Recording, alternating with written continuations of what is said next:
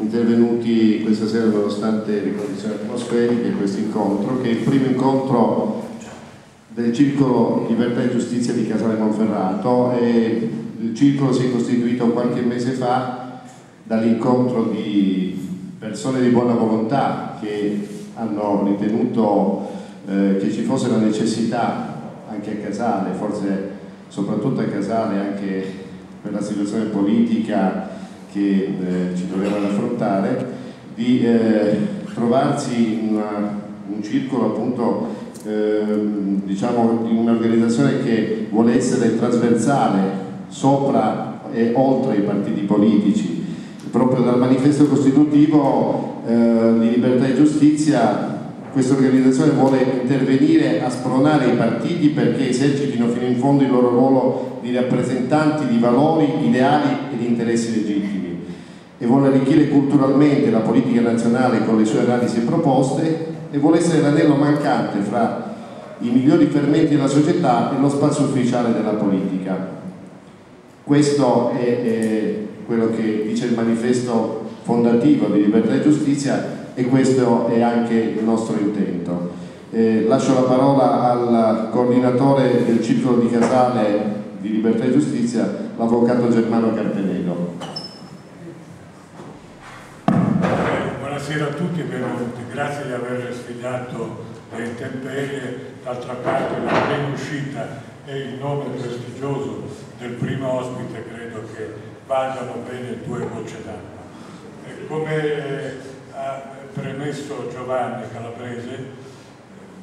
il nostro circolo, meglio la nostra associazione, ha la funzione di volano tra la società eh, civile e i partiti politici.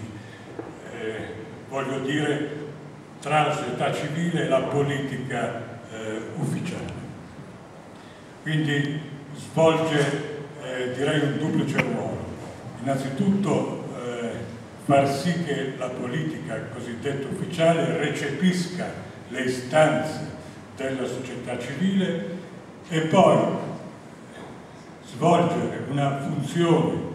che chiameremmo forse presuntuosamente, ma questa comunque è la funzione dichiarata eh, statutaria, propedeutica, al fine di eh, preparare coloro che vogliono attingere la politica ufficiale, prepararli con eh, il presupposto e i rudimenti di principi e di valori che purtroppo vanno scomparendo. Dico purtroppo vanno scomparendo perché è indubbio che la società eh, italiana ha subito una modifica, ma una modifica in peggio, ha subito, ovvero un deterioramento cospicuo e eh, evidente ormai quantomeno negli ultimi eh, 15 anni e a buon intenditor, ma qui siamo tutti ottimi intenditori, eh, poche parole perché poi saprà eh, doviziosamente e perpetuamente eh, dire il professor Revelli. Il professor Revelli che è ordinario di eh, storia contemporanea presso l'Università del Piemonte Orientale, ovvero eh, avvocato, l'Ateneo Avogadro, che è autore di numerose eh, pubblicazioni, che ha scritto eh, pagine, direi, brillantissime. Dapprima io ho conosciuto, ho cominciato a conoscerlo tramite le pagine che ha scritto già da alcuni anni su eh, un tema che è tuttora eh, scottante, ma che lo stesso professore ha detto ma io ormai l'ho abbandonato e forse fa bene il tema del, del revisionismo e preferirei eh, parlare della trasformazione della società italiana eh, negli ultimi anni. Sorrevelli eh, anche eh, ai miei occhi, non dubito anche ai vostri, un grosso pregio che non è un merito, non è un merito, perché l'eredità ne vale un merito. eh, però è indubbiamente un'enorme dote nel suo caso. È il figlio dell'indimenticabile Nuto Rebelli,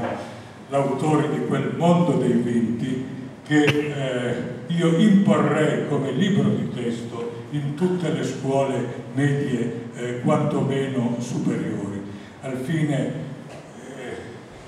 di far capire a questi giovani così eh, brillanti e così non curanti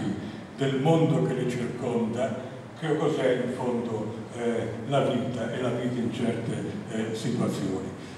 Non aggiungo altro, la parola al professor Marco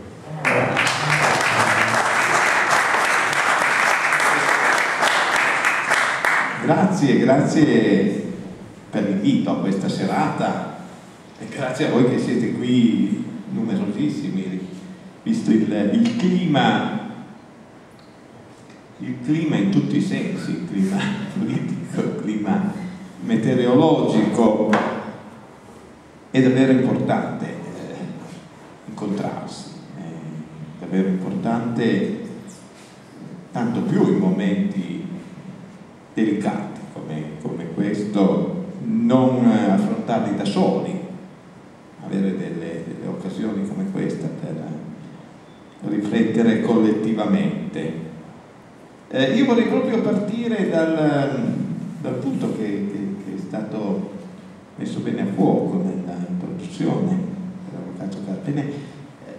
degrado eh, del nostro paese. Eh, non c'è bisogno di eh, insistere troppo su, su questo termine comunque pesante, il degrado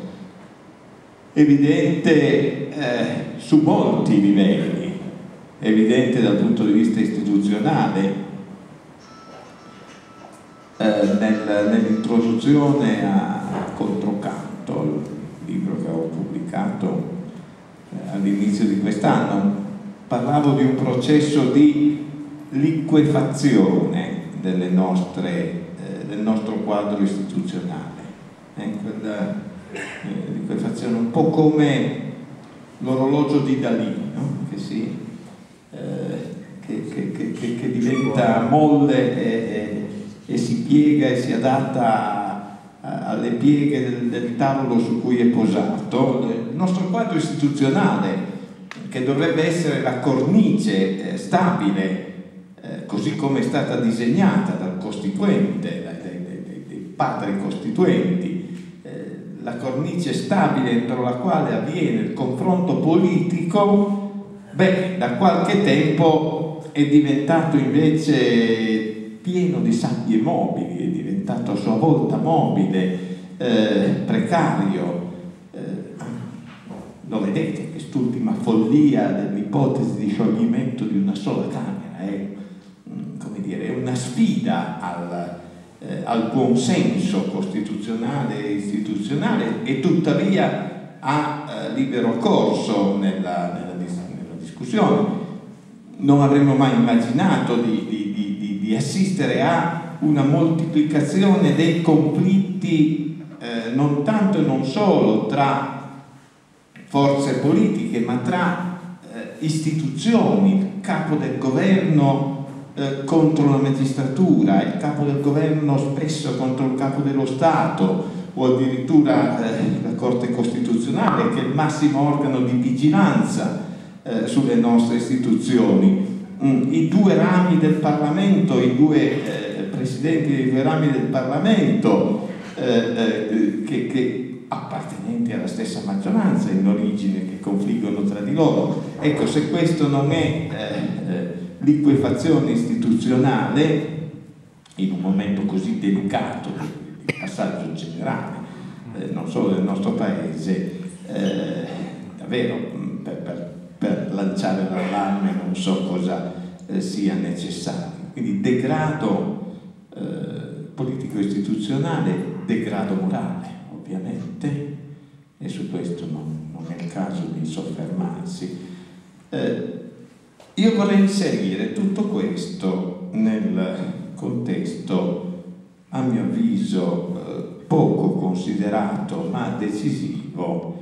del degrado sociale ed economico.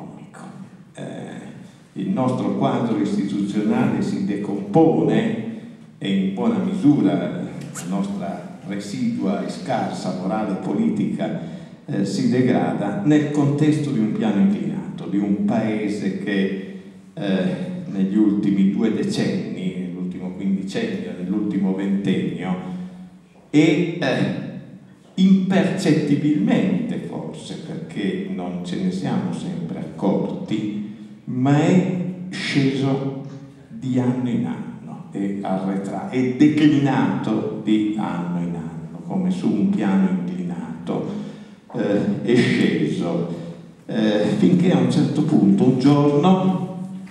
ci siamo guardati allo specchio e non ci siamo più riconosciuti. Questo eh, a me eh, avviene sempre più spesso leggendo i giornali negli ultimi, ultimi la difficoltà a riconoscere il mio paese nelle sue diverse parti. Devo non non mi ero mai riconosciuto totalmente, questi sono sempre state due Italie in qualche misura, eh, antropologicamente diverse, eticamente diverse, ma eh, da qualche anno un'Italia, eh, una delle due Italie si è dilatata spaventosamente e l'altra Italia eh, è diventata sempre più eh, silenziosa, con nobili e importanti eccezioni, ma eh, nello spazio pubblico sempre meno presente. Bene, male, anzi, ma tutto questo io credo si inquadra in un contesto di sfarinamento sociale, eh, di declino sociale, di cui forse è importante eh, incominciare a, a dare le misure incominciare, è importante incominciare a misurarlo. Eh, io questa sera userò molti numeri, ve lo dico subito, eh, un po' come mettendo le mani avanti, eh, vi ammanierò molte cifre che sono di per sé aride, eh, sono le cifre eh, che abbiamo raccolto mm, in tre anni come commissione, cosiddetta commissione povertà. Eh, la definizione ufficiale è commissione di indagine sull'esclusione sociale, è una commissione eh, che ha eh, istituita per legge presso il Ministero che ha le deleghe per le politiche sociali, che ha il compito anno per anno eh, di fare la fotografia sociale del Paese, di misurare eh, le dimensioni della povertà e dell'esclusione sociale nel Paese, commissione voluta fin dalla fine degli anni 70 da una grande figura, spesso dimenticata ma importantissima nel nostro panorama, che è Ermanno Gorieri, il quale si batté come un leone perché eh, in Italia si cominciasse a misurare le dimensioni della povertà. Fino ad allora non c'era nemmeno un indicatore, non c'era nemmeno uno strumento statistico, nemmeno uno strumento matematico per misurare la dimensione dell'indigenza, della povertà e della deprivazione in questo paese. Gorieri si batté, eh, fu istituita allora eh, una commissione, questa commissione che per anni lavorò a definire un indicatore di povertà, che è quello che oggi viene usato dall'Istat e che noi abbiamo di volta in volta documentato, eh, e dagli anni 80 in poi eh, la Commissione ha, ha, lavorato a tutto questo. Negli ultimi tre anni a me è toccato di presiederla e questa sera utilizzerò una parte consistente dei, de, del lavoro, che, dei dati, dei risultati a cui siamo arrivati eh, con questo lavoro collettivo. Eh, saranno numeri aridi, ma credo, credo che, anche, anche questo abbia un significato politico. Se c'è un aspetto forse non, non, non, il peggiore, perché ce ne sono tanti di peggiori, ma se c'è un aspetto tipico del berlusconismo è eh, la, la, retorica, la costruzione eh, arrogante e, e, e, e prevaricante di un racconto totalmente separato dalla realtà. Berlusconi e il berlusconismo ci hanno avvolto in un involucro narrativo, in una narrativa, come dicono i tecnici, eh, in visti eh, in, una, in un piano di irrealtà che